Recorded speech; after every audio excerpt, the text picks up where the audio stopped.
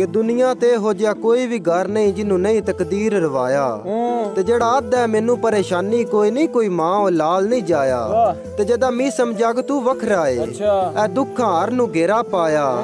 ਐ ਤਕਦੀਰ ਇੱਕ ਠੋਕਰ ਸਾਨੂੰ ਵੀ ਮਾਰੀ ਆਈ ਸਾਡੇ ਹਿੱਸੇ 'ਚ ਵੀ ਸੱਜਣ ਨਹੀਂ ਆਇਆ।